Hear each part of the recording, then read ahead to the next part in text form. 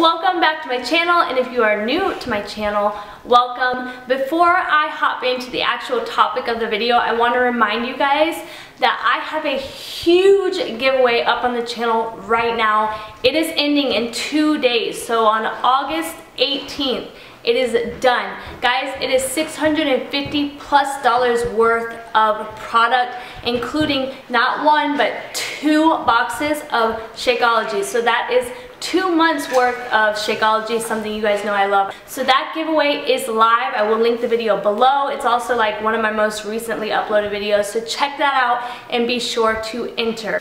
Next, I guess I need to point out, first of all, the exposure might be a little bright here, but I am playing with the settings on my camera because the lighting was very blue tone, the custom balance was off, the white balance, so I went and fixed all that, you know, just bear with me as I work out the details. But I wanted to let you guys know why it's been so long since I've uploaded a video. It has been three weeks and I feel kind of awful but I've had to tell my mind like let go of the guilt. So bottom line I guess the biggest reason I haven't uploaded in a while is because I've just been dealing with some kind of like health issues. I for a while probably the past month and a half, I have been really, really, really like stupid exhausted. And I'm talking to the point where I couldn't get through my days. I was exhausted. I went from being a person who never takes naps, I can't even fathom taking naps when the,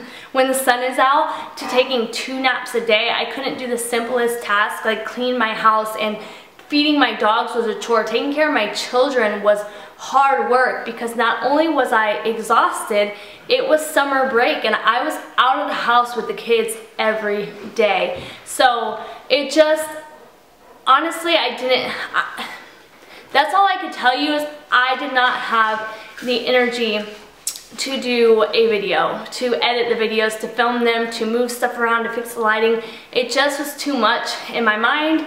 I don't want to go too deep into it, but you know, people are telling me you have this or you need this or you need to stop doing that. And honestly, I don't know what is wrong with my body. I'm working with it. I'm working with my chiropractors and my massage therapist and my doctor to figure it out. So I'm figuring it out. What you haven't seen is even though I haven't uploaded a video, there is a lot of work going on behind the scenes, which again, very difficult to do when you're feeling that level of exhaustion. But I have hired on people, I have been working on design and working on future projects, and I have a lot of fun video ideas coming up. And I know you guys really, really want to see like what I eat in a day, videos like that. But even just the exhaustion has made it to where I have to clean my house in spurts almost, which just sounds horrible, but that it's bad, guys. So it's like the thought of doing videos like that and moving from shot to shot and room to room and, and cleaning up the mess that's left behind afterwards has just been overwhelming and I just haven't tackled it. But I have been keeping pretty consistent on my blog, which I told you guys I'm much more active on that now. I kind of let go of Facebook. I was over it and I moved everything to my blog. So there are blog posts going up just about two, three times a week usually.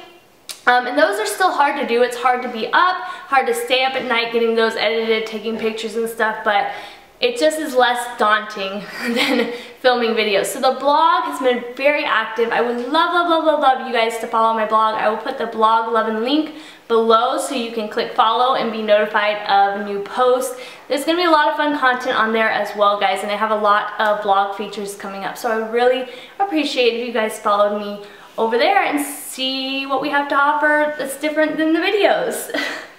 also, in case you can't tell, I got another haircut. It's kind of like, this is like fourth day hair now. Um, but I just, the cut that I had before was awful. Long story short, my hair girl moved.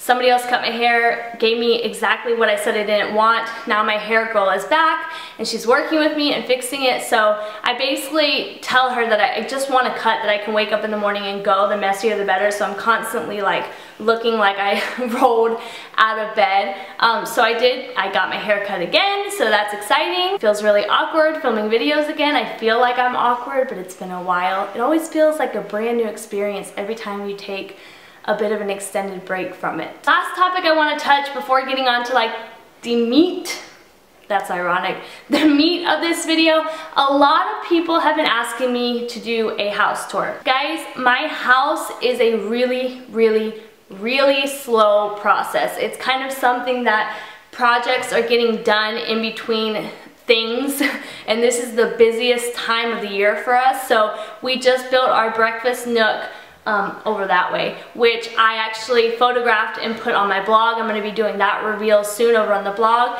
So it's just a really slow process and when I feel like something has actually happened and we're making progress, um, then I might do a house tour. But for now, it's not even worth it. I, I will stick maybe to some photos, some photo updates, so follow the blog for that as well.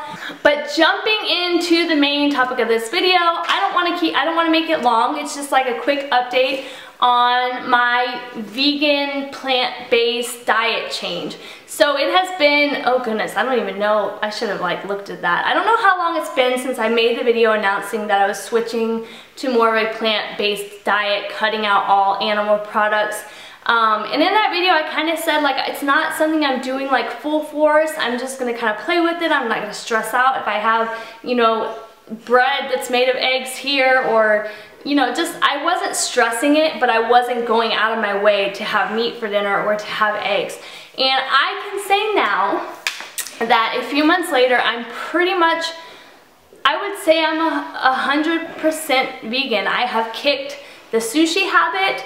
I have had sushi once within the past probably three months. So there is that. Um, but I have cut out like any kind of bread that's made with eggs and stuff like that. I definitely am not eating meat. I have cut out fish. Um, and it's been difficult at times, you know, like we went to a sports bar the other day and the only thing I could eat on the menu was broccoli, rice, and french fries. So some places it's difficult to find meals that are vegan, especially breakfast places. My husband, we live in the South, and breakfast in the South is just very, it's like meat and potatoes, um, eggs, and I don't eat any of that. So I end up going to the breakfast areas or the breakfast restaurants and just getting like a plate of potatoes. So there is that, but at home, I've been sticking to my vegan diet. I have been trying to experiment with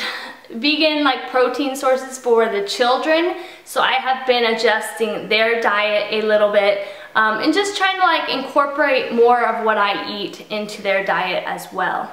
But anyways, that is kind of the update on that. To close off this video, I wanted to share with you guys two books that have made my transition into the vegan lifestyle much, much easier. These are books that people recommended to me. They, they came highly recommended by people when I first announced that I was making that transition.